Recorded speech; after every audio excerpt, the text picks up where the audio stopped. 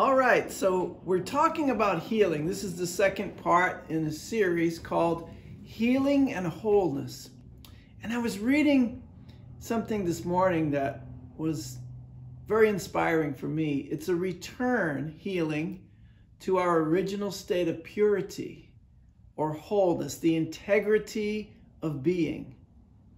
And in order to do that, it says in this book I was reading, The Revealing Word, that all healing begins with cleansing the mind, cleansing the energy field in which you live and move and have your being, that you live in the original purity or integrity of your wholeness, your original state of being.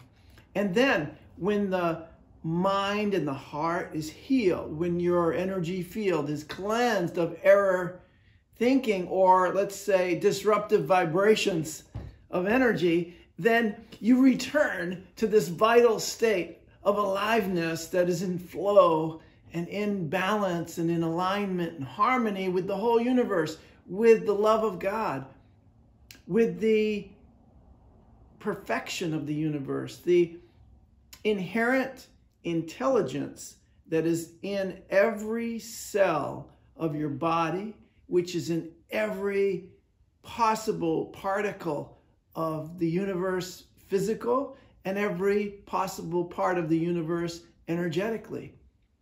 That means that this flow of energy is now moving through you and it's clearing out all the blocks to your perfect alignment with all that is and that is going to be your return to wholeness.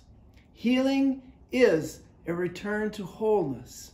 And I'm so grateful at Unity that this is one of the main uh, focal points of our teaching. This is a focus of our mind. Our intention is to heal not only ourselves, but all of humanity through remembering who we are and returning to that integrity of being. And so this is where we sit today in the wholeness and the perfection of the universe, one with you, one with God, one with all that is, and knowing that we are healed, we are whole, and we are perfect in the flow of our original purity. And so it is. Amen.